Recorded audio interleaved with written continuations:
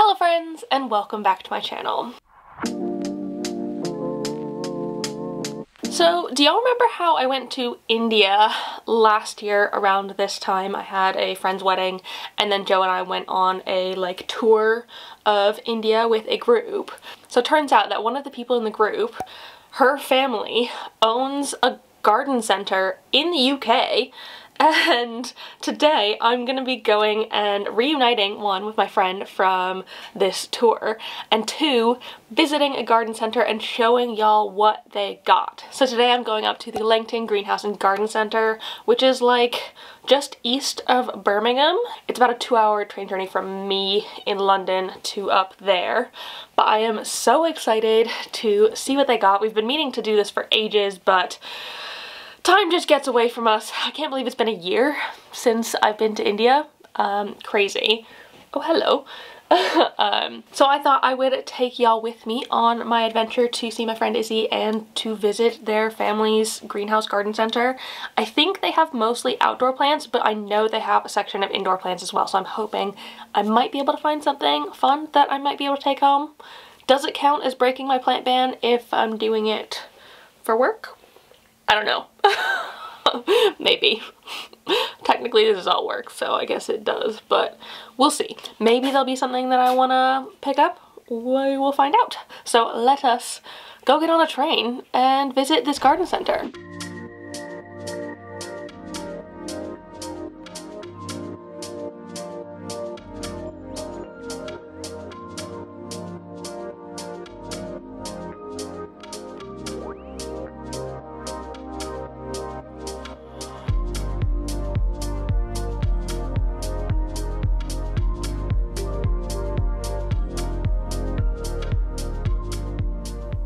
So right when you enter the Langton greenhouse, you get to the houseplant section.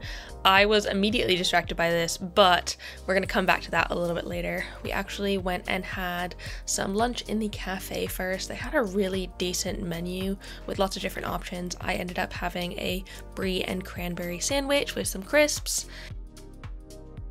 and they had an amazing selection of cakes which are all made on site which was amazing I had an almond slice and it was delicious. After lunch, we went and explored the outside garden section. They had loads of things for outdoors there basically any plant you could imagine, as well as things like trellises, a huge selection of pots, even some made of recycled ocean plastic, which I think is great. So loads of bumblebees around pollinating the plants, and Izzy says that they go and make local honey, which they end up selling in the shop too. Coming back inside, it's really obvious that they sell everything you could possibly think of here. Loads of outdoor gardening stuff like seeds, seeding potatoes, supplies like fertilizer and weed killers and stuff, as well as loads of tools and gloves, garden furniture and accessories.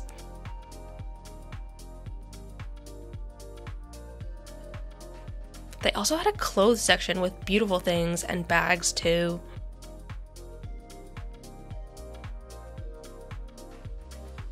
Whole section with hundreds of greeting cards and loads of homeware options, lots of ceramics and plates and cups and stuff like that.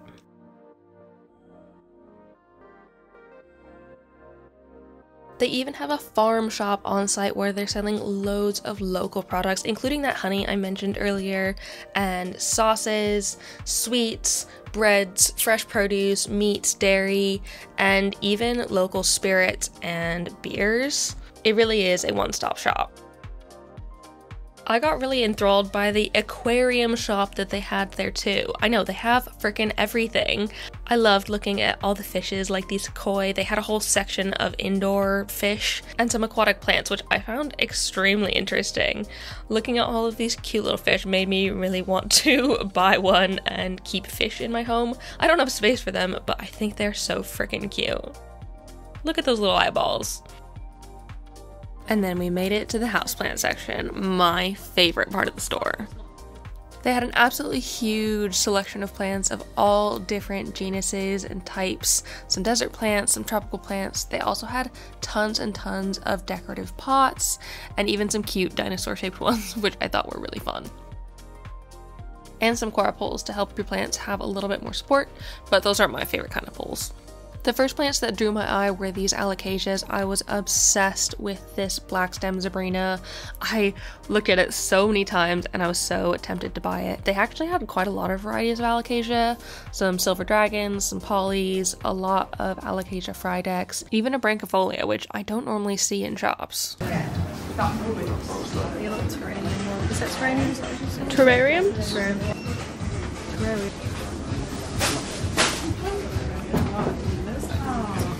Isn't it? For $29.99. Decent deal. Little cacti and succulents. These are gorgeous. Monstera standleyanas. They like to me, they look like they've been painted, you know? Yeah. Goodness. For only $19.99. Yeah, not really bad, good price. And then like polka dot ones. Oh yeah, the begonias. I would get a begonia. This this leaf is really soft too. A little Cebu blue on a pole.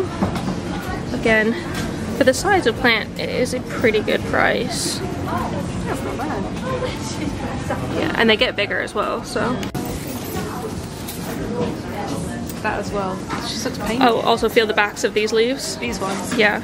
Oh my god. So this Oh is God, called a, a velvet calathea. Oh, that's that is so soft. Yeah. Some big monstera. I really wanted this begonia cracklin rosy. It was only $14.99. Variegated um, peace lily, this one. Oh, okay. So they're the same as a normal peace lily, but they're variegated. And then these. Again, the color. Yeah. That is just, it's just mesmerizing. Right? You see why I love them. I totally get it. It's. Yeah, it's like velvety. Oh my god, that feels amazing. Yeah, focus. They also had tons and tons of different types of flowering orchids, which are really pretty. They're just not quite my style. Beautiful. These are super duper popular these days. Oh, are they? Yeah, What's that? but it's a Peperomia sarcophylla, Oh, okay. but that you can't find them in the US. Oh, why not? It's Uh, not they're just growing? not growing there. Fair enough. And Is it climate wise or? no, like you just they just haven't been cultivated there yet. I was also really tempted by this Alocasia Gageana California because I used to have one of these, but I ended up having issues with pests with it, and so I gave it away. This one was only $29.99, which is an amazing price for a plant this size. Quite a selection of cacti as well. Some I'm familiar with, some I wasn't. And a whole section on bonsai trees. Eight. Pink princesses. Eighteen ninety nine. Bird of paradise here. A rare section where they have things like variegated monsteras in there. Is this really twelve ninety nine for a ring of fire? I feel like that is a great deal. But like these are so cool. Like when the leaves come out, they come out all pinky and then they fade to the cream color. But $12.99 for one of these is a pretty good deal as well. Is that a Thai? Are these Thai constellations here? Quite potentially. 99 pounds for a Monstera Thai constellation of this size is genuinely an incredible price. So if you're looking for a Thai con, 13 pounds for a Varicosum and Sensi. These are fun. It's Aglaonema.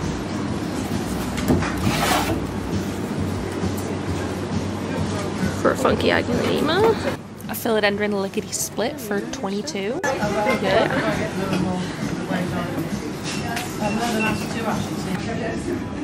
Beautiful. Little baby Brazils. For like five pounds for a tiny little one. Perfect. The really big, curly, huge staghorn. Only 25 pounds. Some things were on the more expensive side, like this Way Wayettii tricolor, but I guess it depends on where they're sourcing their plants. Oh, but look at that. That's stunning. Yeah. So iridescent. They even have a selection of carnivorous plants with Venus flytraps and some of these jug plants. they're so pretty. I just don't think I could keep them alive. And then it was time for me to make my way home. I just got home from visiting the Langton Garden Center and my friend Izzy and I had so much fun. Honestly, visiting a garden center like that makes me really wish we had more of those close to London because there was just so much there. You could spend all freaking day there if you wanted to because there's just so much to look at. I kind of gave you a speed through of most of the things that aren't houseplants, but there were loads of things that I would have loved to take home if I could. But alas, I was on the train, so I probably shouldn't have bought like an entire dish set. But yeah, it was just so cool and I wish we had more of those kind of nearby London. I guess it makes sense that we don't have them here because we don't have one like the space for that kind of thing. But also, you kind of need a car to go to a place like that because you like there's just so much you can bring home and like especially if you've got a garden and you're buying outdoor plants you're gonna need a car to take them home those those kind of things aren't things that you can just kind of put in your bag and take with you on the train. So like I do get it, but it makes me long for something like that near me. So I didn't end up buying any plants while I was there. There were some that I really, really did want to buy. I was so, so tempted. All of the plants looked absolutely immaculate. None of them had pests and they were all in extremely good condition for fairly reasonable prices as well and I did love that they had some more exotic things and things that you wouldn't necessarily find in your everyday plant shop like a Thai constellation and like a philodendron ring of fire and stuff like that. Those things that are a little bit more exciting and out there that that really piqued my fancy as someone who collects houseplants rather than just having the basic like pothos and begonia and stuff. Though there were some really beautiful begonias that I would have been interested in getting. And like I said, I do kind of regret not getting anything because I I did really want to, but y'all would be proud of me. I stuck to my plant ban guns and held off. But, oh my goodness, that Alocasia black stem, Zebrina, I wanted so bad. And even just the normal Zebrina, I was so tempted to get that. And I was even tempted to get a Thai Constellation because their Con was decently sized, but only 99 pounds. Like, that is a good freaking deal. So, it was it was a bit of a struggle. You should have seen me talking to Izzy like, I want to buy things, but I shouldn't buy things, but I want to buy things. She's like, you should buy things. I'm like, no, I shouldn't buy things. um, so yeah, I'm I'm really proud of myself for sticking my guns, but I'm also quite sad that I wasn't able to get anything in the end. But I did get a little ornament thing. So they had this section by the houseplants that had a bunch of like little fairy world things that I feel like you could probably put in your garden, but they would do better in your home in like houseplants or like on a bookshelf or something. And you could buy different fairies and gnomes and little like hobbit holes and stuff like that. And I got this really adorable little reading dragon. Um, which I think is so freaking cute because I've been loving reading fantasy. If you're on my vlog channel, you'll have heard all about that, but I got this cute little reading dragon and I can't decide if I want to put it in a plant or on my bookshelf because I feel like it works on my bookshelf, but it's just so cute and like you could really make a little world out of all of these little trinkets. So I didn't come away totally empty-handed, but I didn't get any plants. So I, I, I tried. I did my best and my best was good enough because I didn't buy any plants. So yeah, that was my visit to Langton Garden Center and greenhouse. I really, really, really enjoyed my time. I hope you enjoyed coming along with me. Before I properly sign off, I want to say a huge thank you to Liz for joining the Good Growing Fam over on Patreon. I really hope you're loving it over there and enjoying all of the bonus content. If anyone else is interested in joining my Patreon, you get everything for the low, low price of £3 a month. And yeah, like I said, you get everything, live chats, bonus videos, polls, access to the Discord server, all of the fun things. So it's there if you want it. I totally understand if it's not your jam. That's totally fine. To everybody else, thank you all so, so much for watching. If you like this video, please give it a thumbs up down below and leave a comment on other houseplanty things you'd like me to talk about in the future, other garden centers you'd like me to go and visit. I can try and make that happen. And yeah, subscribe for more. Thank you so, so much for watching again, and I will see you in the next one. Bye!